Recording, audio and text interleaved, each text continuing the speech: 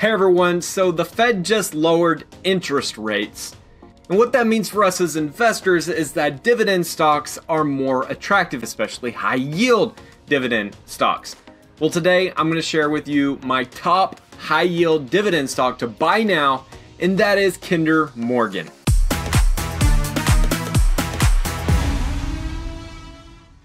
Okay, let's talk about the impact of lower interest rates on dividend stocks because lower interest rates increase the desirability of dividend stocks. The Federal Reserve has recently lowered interest rates. They're probably going to continue to cut interest rates, and those lower interest rates reduced the cost of capital. And what that means is that that can increase the return on investment for capital intensive projects benefiting companies like Kinder Morgan. And Kinder Morgan's ticker, by the way, is KMI. Now, Kinder Morgan has made a lot of financial improvements. Let's just real briefly look at some of those financial improvements, and then I want to talk about some of the capital investment opportunities that Kinder Morgan has in the future. So, if you're interested in investing in Kinder Morgan, this video, guys, is going to be chock full of good information for you um, that's up to date, current, recent stuff that I've been pulling from the internet. All right, so here we go. Number one, their balance sheet has been strengthening since 2014, 2015, when the oil and gas had a big downturn.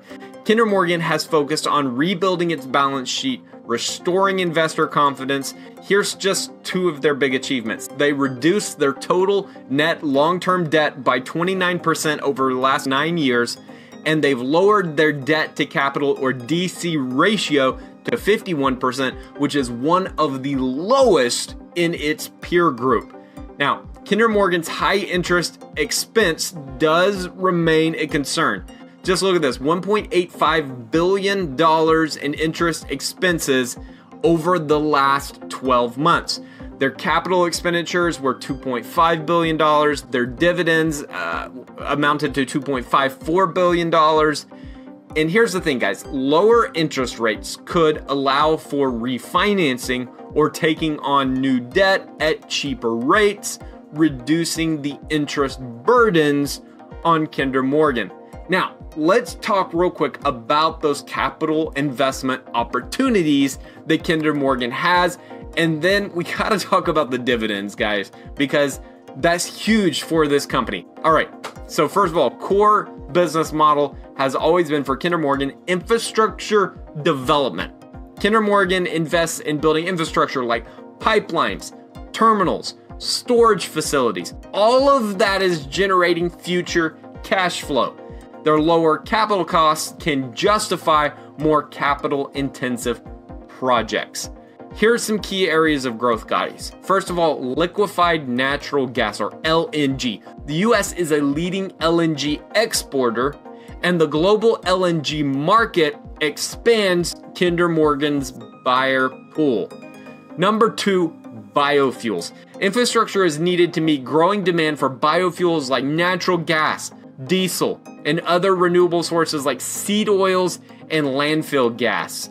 Number three big opportunity, guys, is data centers and AI. AI driven demand for electricity offers potential growth through supplying energy to data centers. And number four, gotta have natural gas for transportation. Natural gas biofuels currently make up less than 10% of transportation energy, presenting growth potential for Kinder Morgan's in- infrastructure investments.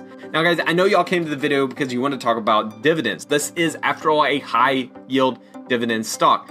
So let's talk about it. Kinder Morgan offers a 5.3% dividend yield. That's higher than the 10-year treasury rate at 3.7%. That's higher than the Vanguard Energy ETF at 3%. That's obviously higher than the S&P 500 at an at an average of only 1.3%. So yeah, 5.3% dividend yield, that's huge.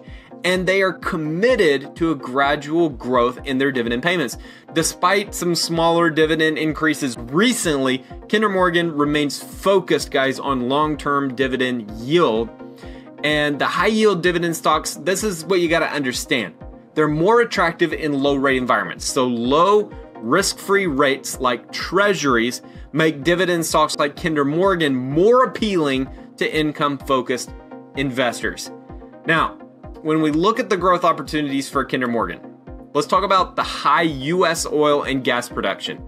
Increasing demand for the fuels that Kinder Morgan handles strengthens its growth outlook. But we've got to balance growth with shareholder commitments. Kinder Morgan has to ensure that the capital investments do not undermine its capital commitments, including their dividends. And so, what I would do is continue to monitor, guys. If you're an investor, monitor the data center energy needs that's driven by AI, because that's going to play into it. Monitor the role of LNG infrastructure in meeting global energy demands. Monitor the progress in the energy transition, low carbon fuel initiatives all of that is going to be huge for Kinder Morgan. But here's the thing, guys Kinder Morgan, when you put it all together, they offer a dual appeal. They're a solid dividend stock, but they've got substantial growth potential. And those lower interest rates, they're just enhancing the opportunities. Lower capital costs will help Kinder Morgan explore new growth avenues while continuing to generate passive income for us as investors. I really hope you enjoyed this video, guys. If you did, leave a big thumbs up, a like on the video, subscribe to the channel, guys, for more videos like this.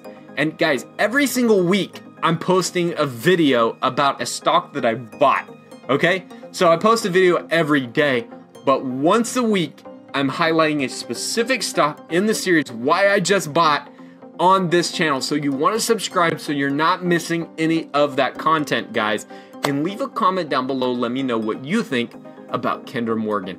All right, guys, y'all have a great day, and I will see you again tomorrow with another video.